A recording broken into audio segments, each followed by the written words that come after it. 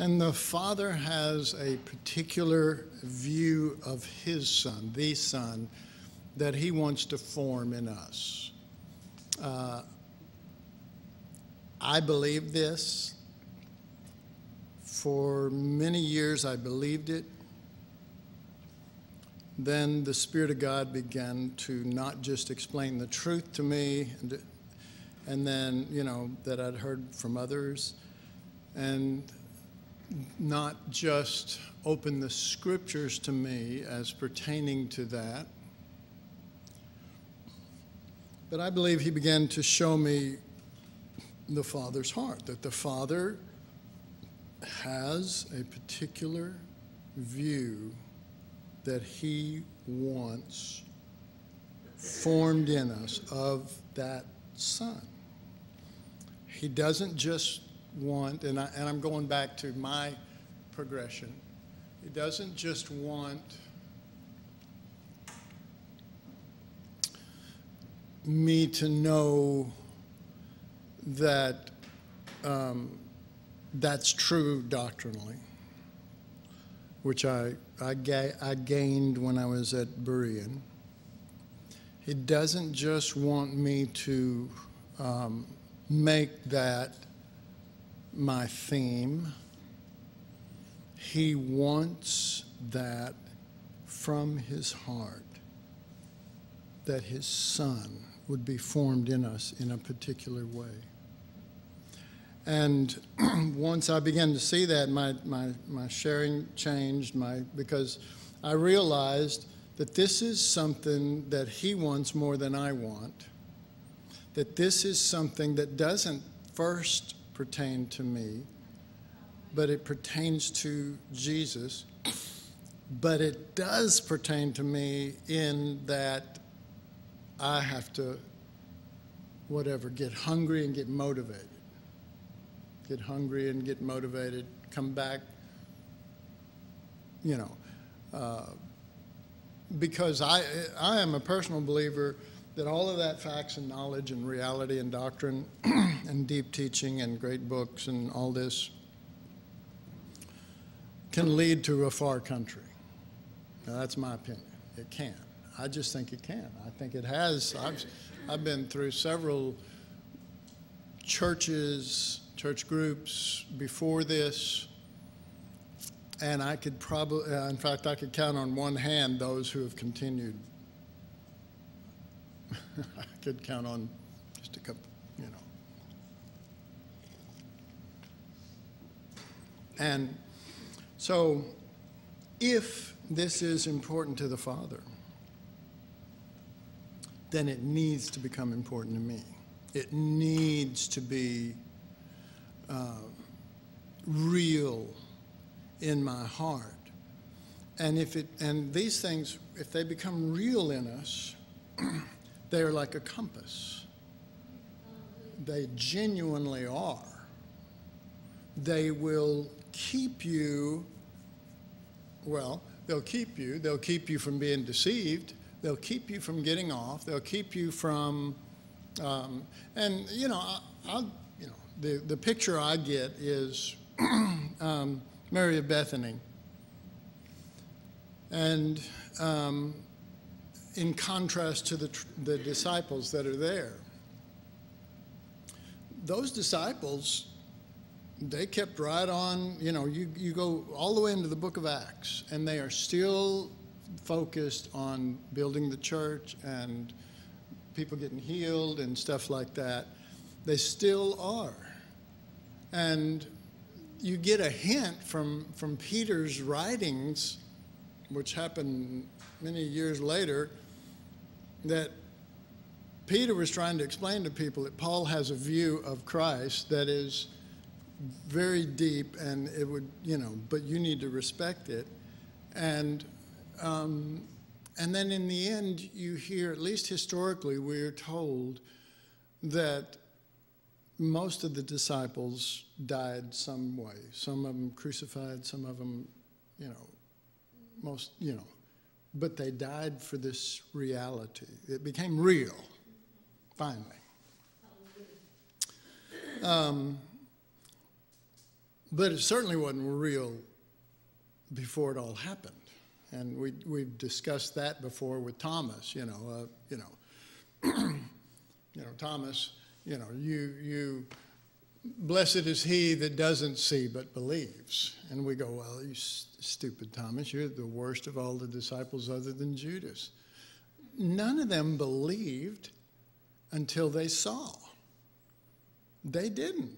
They weren't standing around going, I know he's alive. I know they're doubting and run and check it out. And they hear from, from Mary Magdalene he's alive. And they're going, What? And they, they went through the same thing because they were not, they had not entered in through that gate of the heart.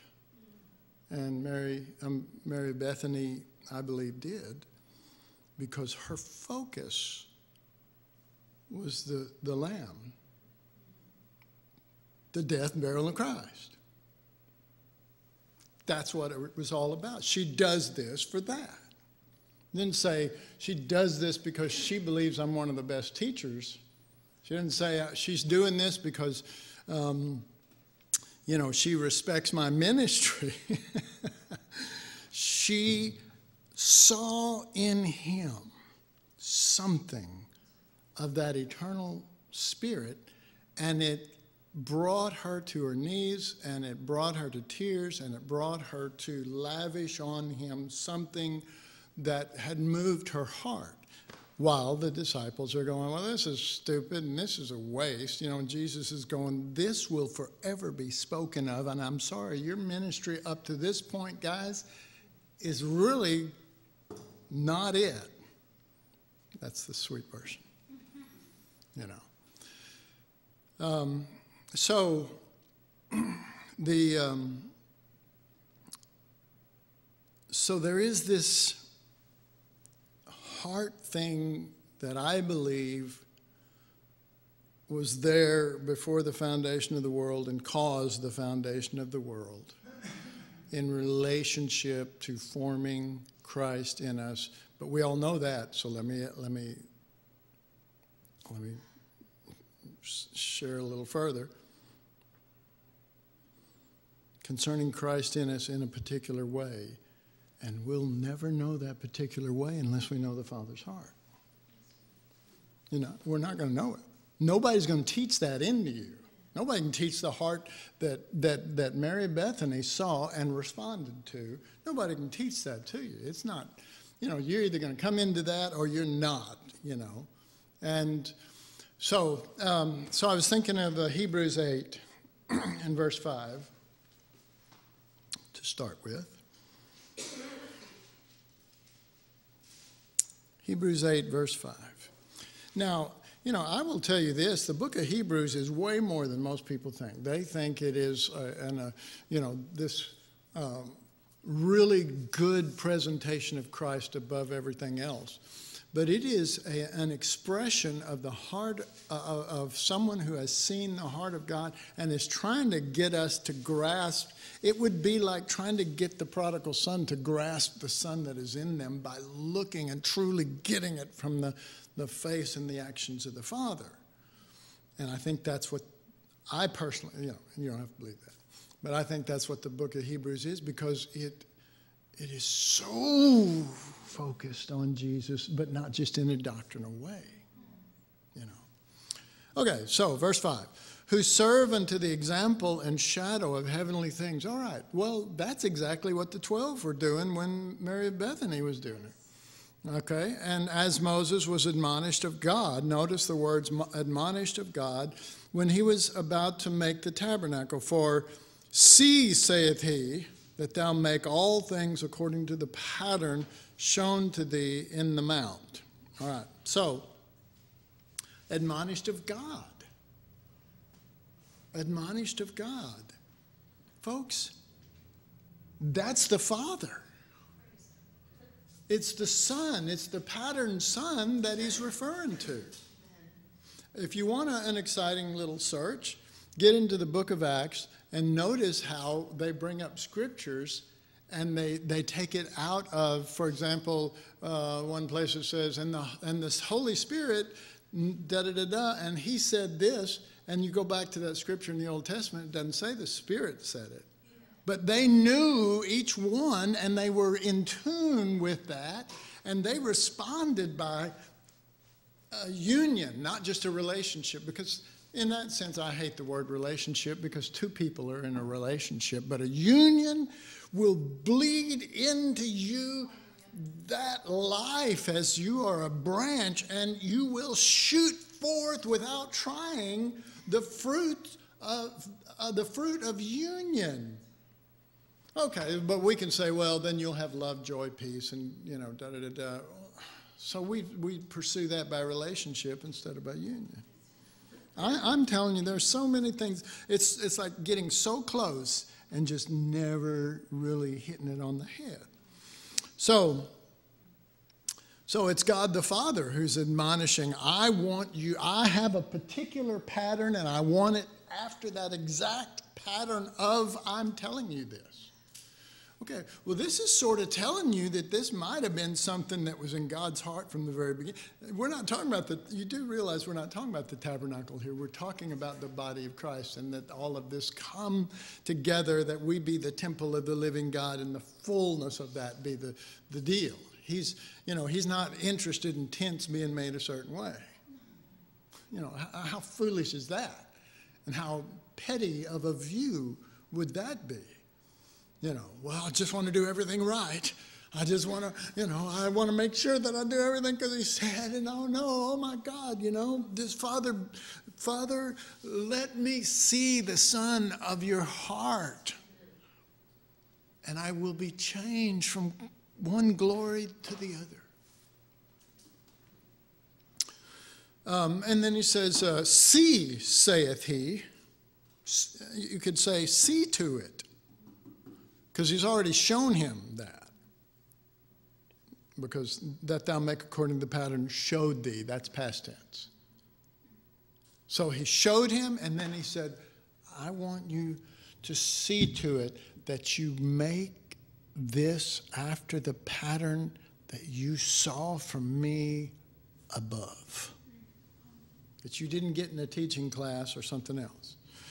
And, and it's make it that way. All right. Now, how many of us are really actively trying to make everything according to the pattern of the, the, the sometimes called the pattern son, the pattern of the son according to the father's heart? um, well, a lot of people aren't because they've never seen it. The, the one that's God, and notice the words admonished, the one is God, is the Father. And a called son or a born again son is the one who is supposed to make that transition. That's where it comes from. You're not going to make that transition by sitting in a class alone. I mean, I believe there's stuff said and a spirit release that can help us along. If I didn't, I wouldn't even teach at all. Um, but but that requires our heart. See, turning to the Lord, and then we turn to the Lord. As soon as you turn to Him, you look in His face, you see the light of the knowledge of glory of God, not of Him. He doesn't make it about Him. When your heart turns to Him, He makes it about the bigger picture. all things, make all things according to the pattern the, um, um, the particular view that that God that spoke, who was the Father, had in his heart concerning his Son. We say, well, the, the, we teach the tabernacle, and we say every part is Christ, is Christ, is Christ it's the Son. It's this Son. But it is, it is found in the heart of the Father um, and is foolish to try to build something that we, we haven't gotten there. We may have it, but we didn't get it from His heart. We may have got it from His Spirit teaching us. I know this is possible because I've done it.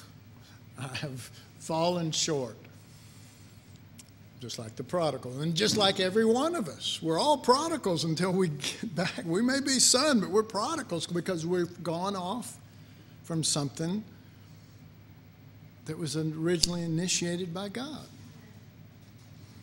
Showed to thee in the mount from above. all right, so in, in uh, Galatians 4.19, you hear this more clearly because you can look in Hebrews 8.5 and go, okay, uh, yeah, sort of.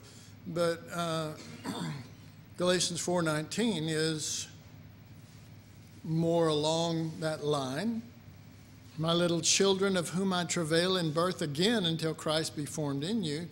So, so he is calling us little children, and we, we've discussed this before.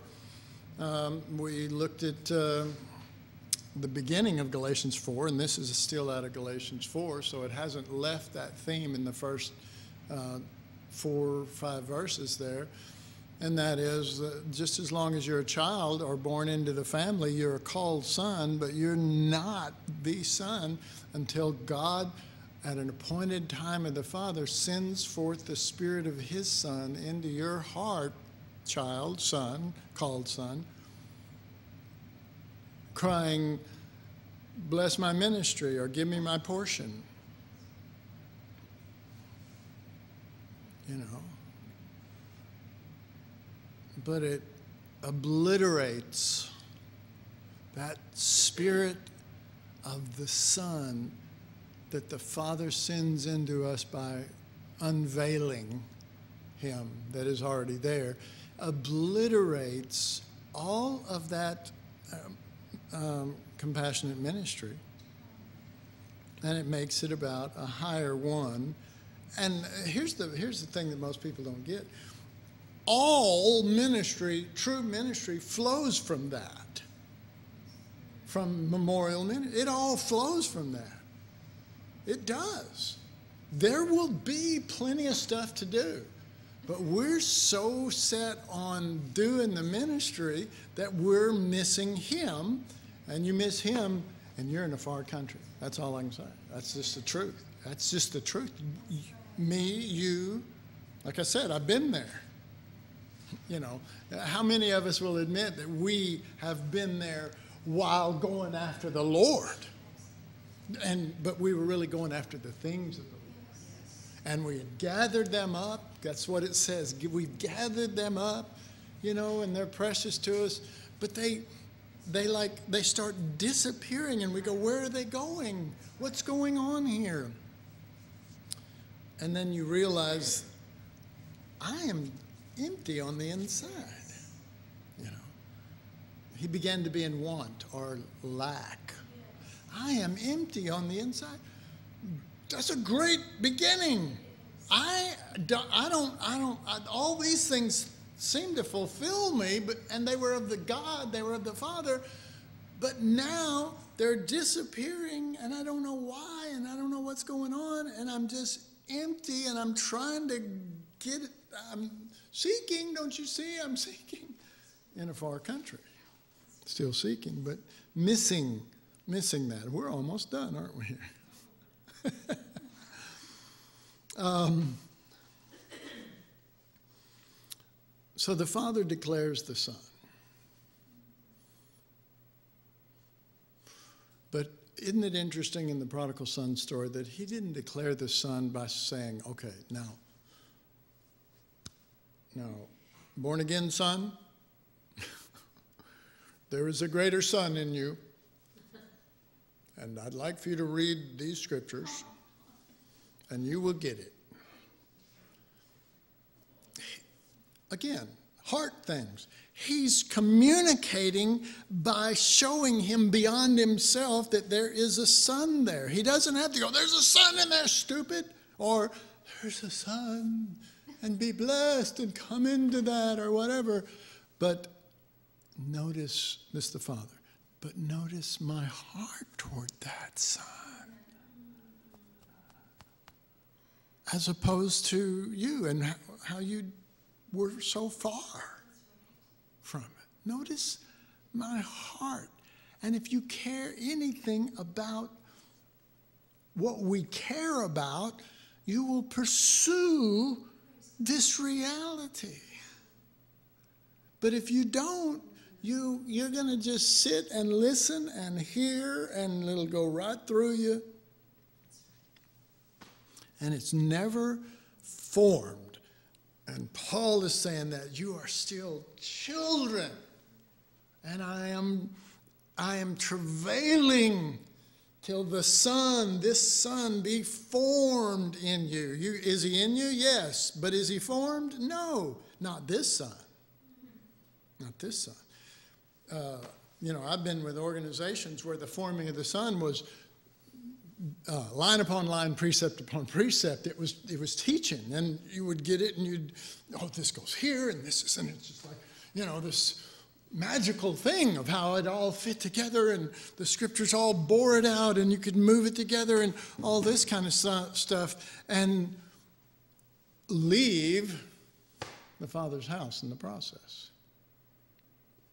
Because it was so clear to you. It was so such a blessing and never never hear the father's heart never see his face never never feel his hand shove a ring on your finger and say, You're accepted in the beloved, because he won't say that. He's just going to say, The beloved. And therefore, he's doing it to you so you can assume is in you. Okay, so to me, when that process starts really happening on that level, God sending forth the Spirit of His Son, where you're crying, Abba, Father um, not, I'm a son. I'm a son by Christ. But you're my father. There's the father of the son that is in me. And he is going to, you know, Jesus said in John 17, and John 17 is so important, everything, because it's the last one where he really declared you know, other than Father, forgive us. You know what I mean? because we're because we're children and we've in a far country. It's the last point where he is, you know, Father, show them that that you have loved them as you have loved me. Okay, so we go, oh, praise God. There's Jesus and there's me, and we're on equal basis, and he just loves us both. Everything in John 17 is talking about oneness. How would he just jump out of that all of a sudden and go, you know, oh, just be loved instead of, even when, and this is my belief, and you know, nobody ever should believe me again. But when he says, beloved, let us love one another, I believe he's talking about the Son the beloved Son in whom he's well pleased. I believe when it used beloved, it's always talking about, just like, you know, that's, that's the higher. You drop it down to uh, Mary of Bethany, and here we are, Song of Solomon. She, he's the beloved. It's, it's, a, it's an ongoing, see, it just, you know, it either works down or it's working up like incense. You know, there's a, there's a real beauty in all of this, but it's a beauty of, of God's heart and of, um, and of, of, you know, I want to say capturing, but, you know, we could never capture that. We, as much as we can acknowledge it first and say, I'm, you know, I, why am I writing this letter? This is John. Why am I writing this letter?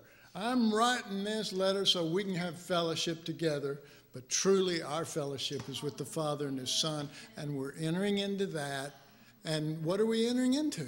Father, Son, not Father and Christians, or Father and called sons, or he, he said, Look, I want y'all to get into what we're into because it's them. And well, well, how do we get in there? You know, I mean, I know people that you can be standing holding a conversation. If somebody wants to come in, they'll just almost step in between you two, you know, they'll start getting in the conversation. Well, that's not what we're going to do to the Father and the Son. That is not what we're going to do. you don't want to get in between the Father and the Son. no, you enter the Son, as it were. But he's not saying enter the Son because you're already there, right? But you enter the, the Son and the relationship that the Son has with the Father. And it is a relationship of oneness, and it is a relationship of love, not human love, and not, you know, of sacrificial love that will honor the other before, you know. And I mean, come on, look at our relationships, you know. We honor and then we dishonor and then we, you know, you know, and it's all this kind of stuff. The Father always honors the Son. The Son will always honor the Father. The Spirit will always lift up the Son. The Spirit will not speak of himself. Okay. All right. Well, that's great teaching. You know, praise God.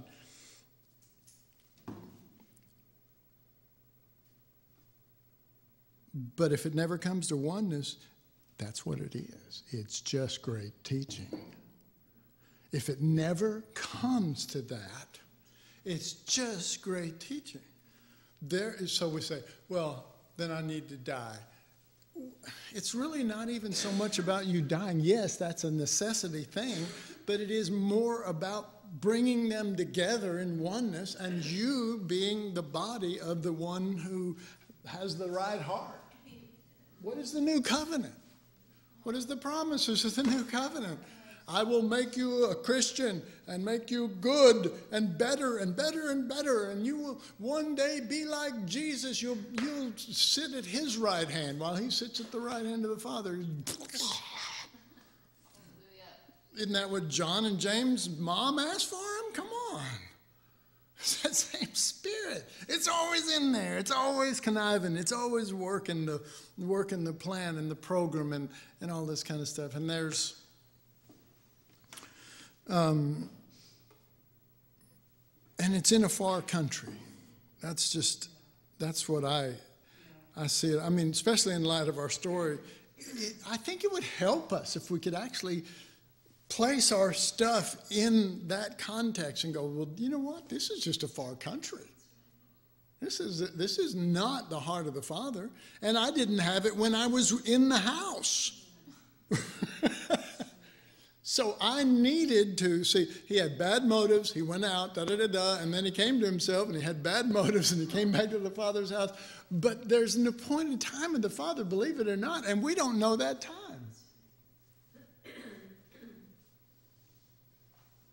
But the Father does. And that's why it says this is an appointed time of Jesus, this is an appointed time of the Holy Spirit. This is the time the Father's going to get his Son finally. And so you, you know, and he's going to send forth the Spirit of his Son. You know, and, and I was taught that in, when I was in Bible school, so I'm going, okay, you know.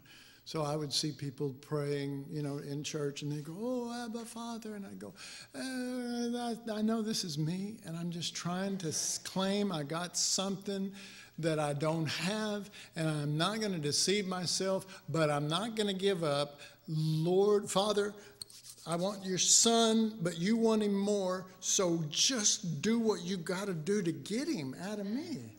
But I'm not going to deceive myself until I'm so far away, I'll never see the Father's face again.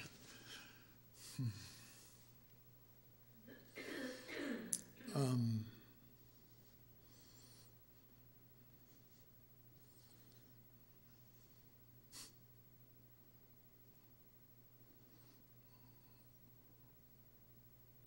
I don't know if it's possible for us to understand how Paul was looking at this group and travailing in birth.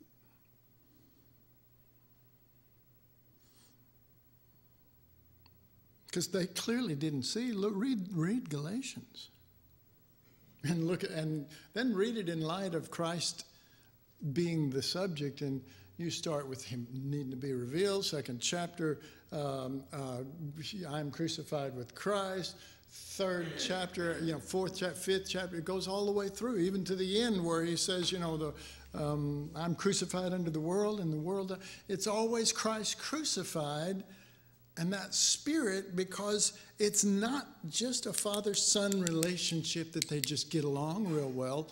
It's, it is best God chose, God, Father, Son, and Holy Spirit chose before the foundation of the world that the best way to exemplify their love, oneness, and everything is that they would do that by a cross that would be so self giving that God Himself would be treated like He was um, a, a um,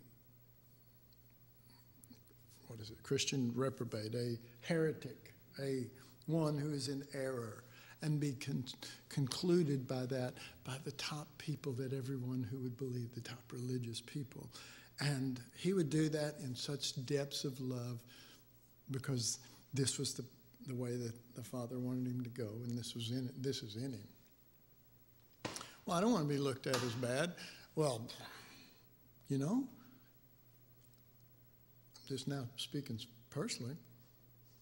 I don't mind being looked at. If, if I know that it's a path that's going to lead to the revealing of the Son, whether for me or others, I don't, it doesn't matter. See, it doesn't matter if it's me or others or who, it, it doesn't matter. It doesn't. Then it's a good path. And I know that the path is always down before it's going to be up. And I know that something we'll eventually get into on this stuff. Um, is that you see the resurrection take place in the prodigal son story right before our eyes. You see the resurrection, and it's the son. He's not resurrecting anybody. He's the resurrection in that called son. And it's just glorious in our eyes. All right, I need to quit. My God. Father, just thank you so much for your heart and the things that are there that were there before we ever existed. And our little dot on a, on a little ball that's in a huge, huge constellation, in a huge, huge place where there's more and more constellations, is not the issue at all. But the one who flung all of that into being has things greater than that in his heart. Holy Spirit hear us. We'd like that to be brought about.